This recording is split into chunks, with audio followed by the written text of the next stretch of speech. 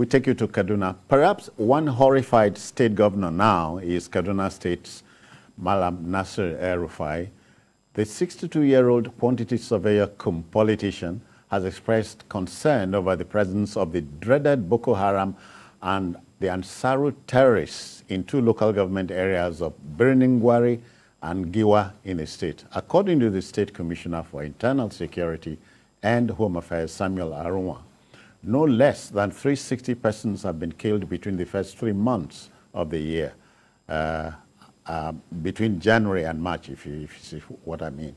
Now, the governor notes that with a curious development, the insecurity problem has moved from northwestern Nigeria to the north central. Danger is real, and fear of the unknown is a choice. But first, let's share this story with you. Led by Governor Nasir El-Rufai, the Kaduna Security Council meets every quarter to review strategies to tackle all forms of security threats ravaging the state. Heads of security agencies and traditional leaders who make up the council gathered on Thursday to receive the security report for the first quarter. In the first quarter, we had a lot of issues in Katari, Bishini, uh, Regional General uh, area, and again around the Kachia district. We have a total of 1,389, uh, 350 males, sorry, there are 420 females, then 79 minors. Of great concern to the governor is the influx of Ansaru and Boko Haram terrorists into the state and their partnership with bandits. The first great concern is the emergence of Boko Haram terrorist enclave, as well as the activities of Ansar, particularly in Birnin-Gwari and Chikun local governments. I think this is an area we should be very concerned about, and this is why we've been making the point that the problem of insecurity now has moved from the northeast to the northwest. The situation in the northwest is far more serious and could be potentially more dangerous than we've ever had in the northeast.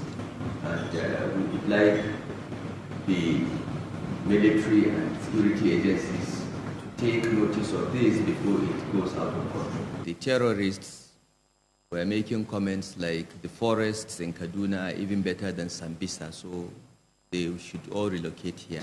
The authorities are disturbed that terrorists are recruiting youths from vulnerable communities by luring them with gifts and cash.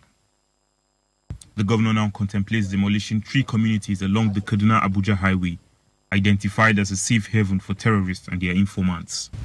Is the continuous um, mention of Rijana, Katari, and Akilubu axis in all these crimes, particularly the uh, safety or lack of it of the Kaduna Abuja road. We have been exploring what to do about these three settlements, whether to relocate them to near Kagarko, whether to clear the entire settlement. And I would like the Security Council to deliberate on this because it is very clear that there are higher level of informants and criminals in these locations because why is it that anytime there is an attack or any form of kidnapping on the Kaduna Abuja road, it happens around these three axes. The success was also achieved in counter-terrorism operations with the killing of at least 101 terrorists by ground and airstrikes within the period under review. The Kaduna State Security Council has promised to improve human intelligence gathering and interagency collaboration towards achieving successful counter-terrorism operations. Lupe Asom, TVC News. All right, many thanks, uh, Lupa. Uh, Emeka, uh, these are crazy times. These are times that will continue to try men's souls. I do remember that uh, Governor El-Rufai said they had a means of listening to these uh, guys eavesdropping on whatever they did or said. Yeah, but that was not uh, that was not enough. Did he carry the locals along? Uh, he said now that the that they've identified an area, sort of maybe a circle, or an axis, if you if you will, mm. where these um, most activities, where most of them operate from, and he now also blamed the locals, so drawing it in, and he has said, okay, that he's going to demolish settlements in that place, which is a doctrine in counterinsurgency, which is called draining the sea, draining the water. Draining, that is, you just empty it totally, whether of the insurgents or the local people, and then relocate the local people elsewhere. But how effective will that be? Because this is a long stretch of road. These people will just simply move from there to another place. There should be an all encompassing strategy to end this insurgency. And what am I talking about? The security forces should be more serious. The IG goes to uh, go, go, goes to uh, goes to visit the road and tells us that uh, nothing will happen again. He goes away, and these people kidnap 22 people. What are we talking about? Why why do you keep promising the people what you are not ready to do? And then you you know people rest on your assurances. They go out only to run into kidnappers. I, I think I, somewhere, somehow, some of these people are not really serious about what they tell us, what they try to convey to Nigeria. They are not serious about it. And I say with all sense of responsibility, they are not serious. Maybe even they don't even really care about what happens to the people. Okay, you have resumed uh, operations uh, by rail, rail operations. What, how have you fortified the rail? All you just said is that there won't be early morning and night the night um, services. So, is it that the insurgents they disappear in the daytime and come back at night or in the early morning? These people have got to be more intelligent than all of this. Yeah, GKB, you know, in security matters, security matters are not discussed in the open Precisely. place. Yeah. You know, so um, results are better uh, than. Don't, don't tell me, show me. Yeah. I think uh, of course, we know Mr. Rufai a long time. And I'm sure that he is of the opinion that his candor and openness is a virtue.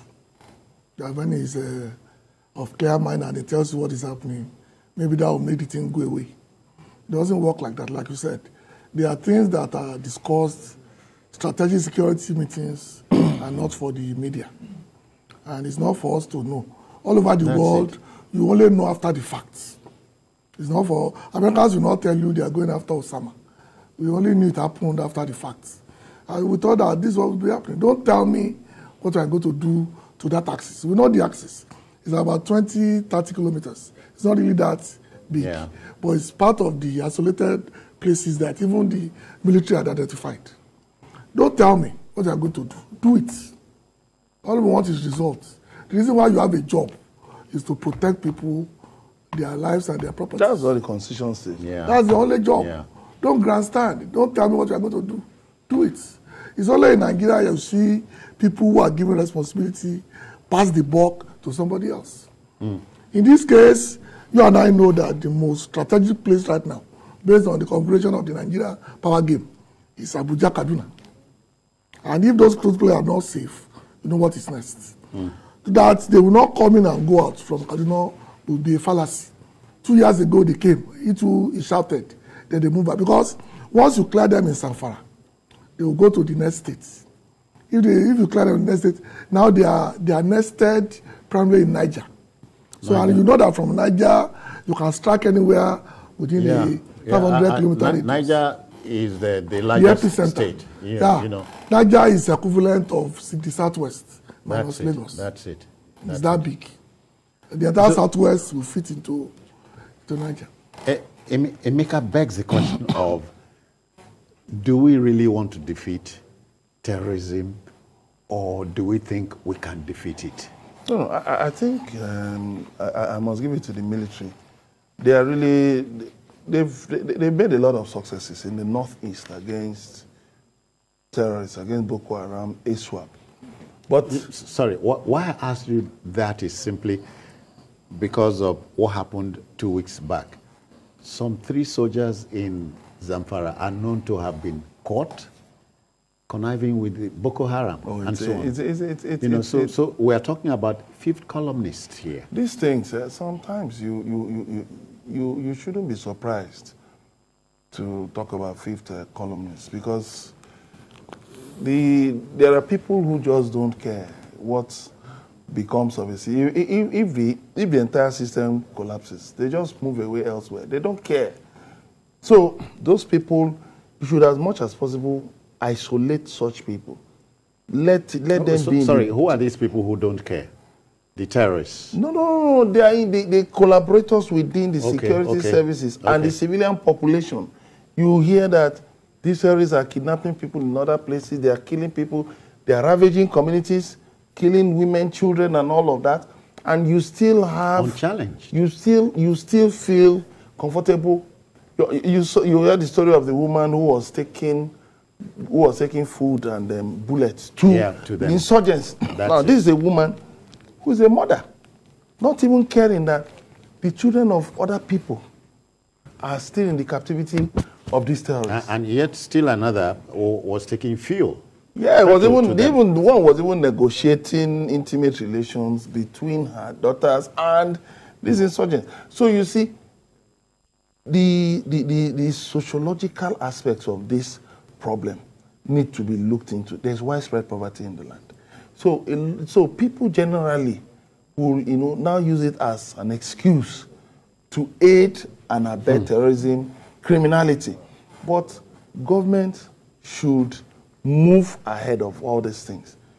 If Boko Haram and ISWAP have moved, this is not the first time that it has been said. Yeah. A former Inspector General of Police said it a long time ago, maybe six, seven, eight years, said it that Ansaru, a, an offshoot of Boko Haram, had moved down to the North Central. Then it was in Kogi State when there was an attack on an Force, Nigerian Air Force uh, column of, you know, uh, a Nigerian Air Force column. Now, what has been done between then and now? Okay, the Tucano jets that have been brought in have been, by diplomatic agreement, restricted to the northeast. Mm. So what it means is that you cannot use those same Tucanos to deal with insurgents in these other places, in the north central. So you know, why, the, why, why, the, are talk we, was, why are was, we? The talk was about collateral damage.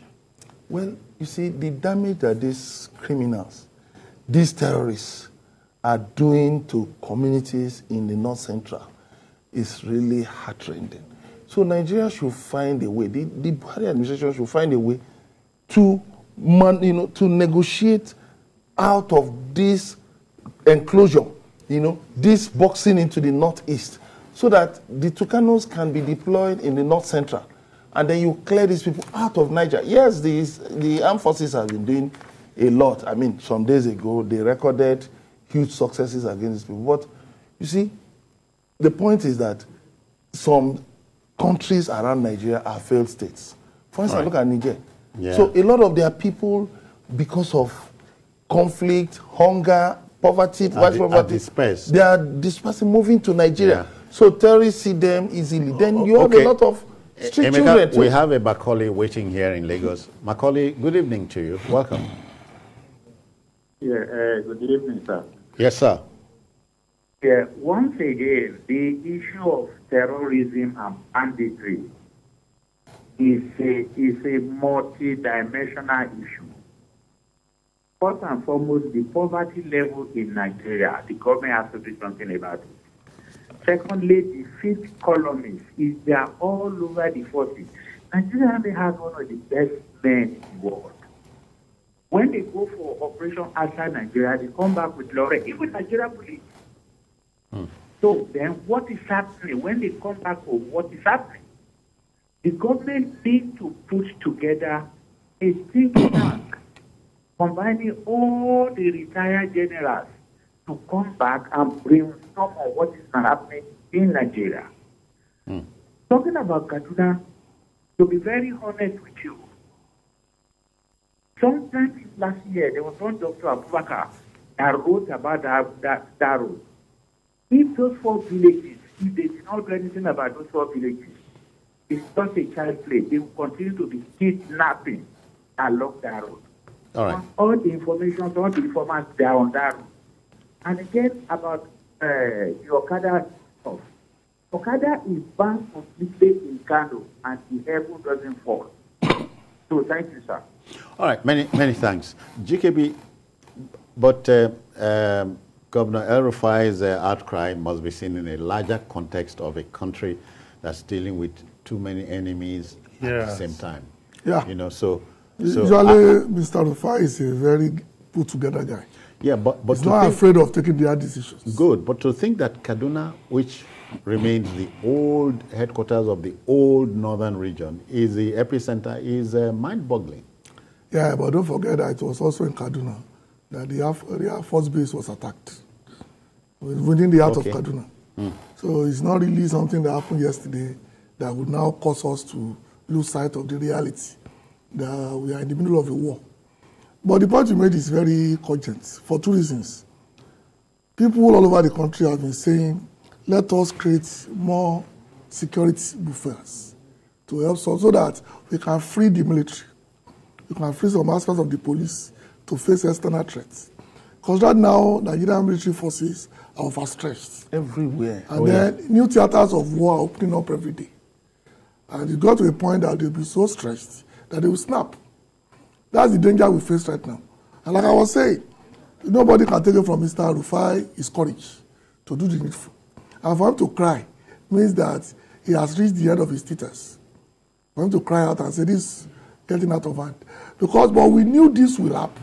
Like Emeka said, we've known this for almost 10 years, that they will spread, and they ultimately they will get down south. We know that. So in the next two, three, four years, if something is not done, we'll not be talking about ISWAP in Kaduna. We'll be talking about ISWAP in Port Harcourt, in Lagos, in Calabar. That's how bad this thing is coming. And the, Or, the, or, Ansaro terrorists. because the way it's coming is the way it's showing. Right now, because if you cannot deal with them in the savannah, how are you going to deal with them in the forest? Yes. No, look at the level of things that we are looking at. If the savannah could not provide you, which is open space, Yeah. and you cannot do anything, imagine what will happen in the thick And, forest. and, and you know, you south. wonder, it begs the question of why aren't we going into gadgetry? the military have their ways. But like you said, they are limited in what they can use certain gadgets for. This is a failure of intelligence. This is the failure of government governance over many years. Because if they are using the locals, that means they are the nearest governments that the locals can see. And they have no choice. Yorubas will say, if your if your if you are praying that your enemy you should not eat the food of your enemy, but your friend refuse to go to the kitchen, what are you gonna do? Okay. you pray that we- you, you we- don't want to eat his food, but the only food available for the locals and the one from the bandits. That's it. That's it. Uh, we'll come to that shortly. But let, let, let, let, let, let me greet. Uh, Herbert is in Ilorin. Herbert, good evening. Welcome. it's gone. We seem to have lost the contact. Uh, So that's the reality we face. And, and, you know, this is when intel, intelligence is important. But the people, Nigerians have been traumatized to a point where they won't necessarily volunteer information. Precisely because you don't know in whose hand thing will fall. Don't forget that there was a, a point in time that when they were caught, the guns with them was supposedly hmm. from members of the military. Supposedly. Mm-hmm. So you know automatically that is beyond, it's now a criminal enterprise. And you know what criminality means when it comes to an enterprise. They don't pay taxes, it's free money, and they will now help them launder it. This is the same country that people were arrested in Dubai for laundering money. And the matter went away just like that. For funding Boko Haram. Because anybody who know about public perception and public uh, control will tell you that should be the front burner until they get orders. Yeah. But in two weeks, the thing was gone. We are back to inanities about which part of the country rules for donkey years, which one should rule. Where people are dying every day, who don't really care. It Emeka, that i- bad. i- it's no laughing matter, you know. Uh, we have a problem which we think we can contain, and, and yet we are still a long, long way from, from home. Yeah, well, unfortunately, um, We, we, we keep turning the thing over in our mind. Yes, we need to. We need to.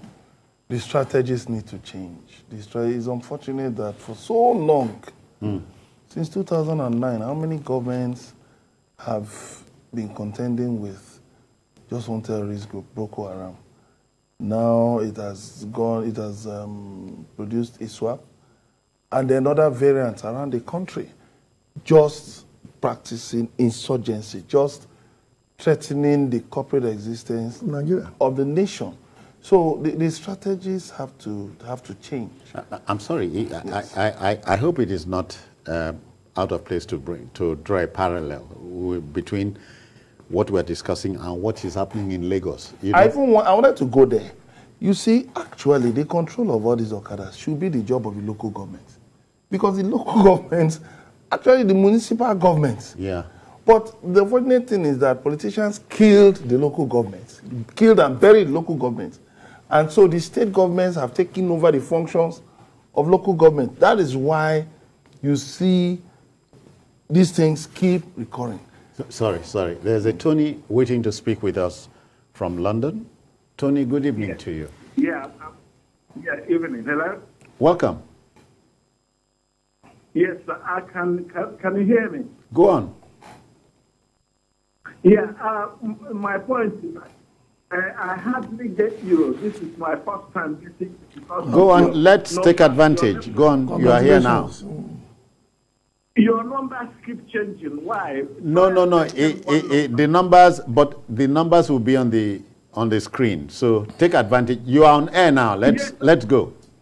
Yeah, can I, can I be getting you with this number? Yes, Tony. You are on, and you will always be on on this number. Are you done? Thank you. So, so yeah, you you uh, when uh, students are on the street protesting ASUU strike, you send soldiers after them. You have different municipal disturbances, you send soldiers. You have serious uh, threats, external threats, you send soldiers. Peacekeeping, you send the same soldiers. What? So, what exactly is the job of the Nigerian police? The civil defense. What are they really doing? What are they really doing?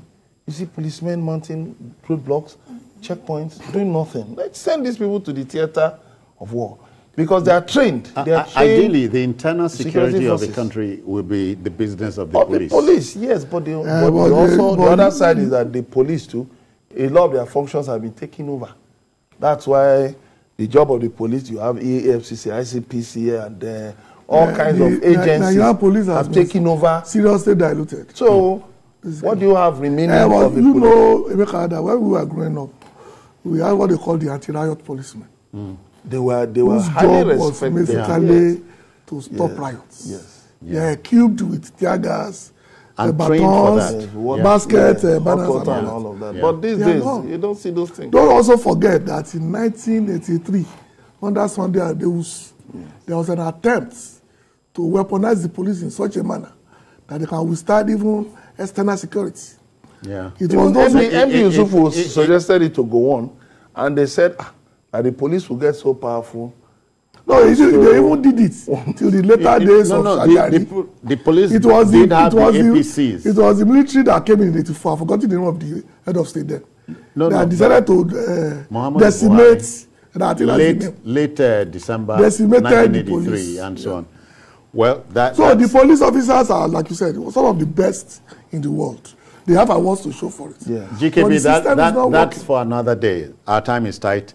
Uh, again, we share we share um, your disappointment, uh, Governor El-Rufai, and uh, we wish you Godspeed. Yeah, let him do the needful. Let's do the do what you have to do, and, and, and leave the rest to God. Yeah. You know. Okay.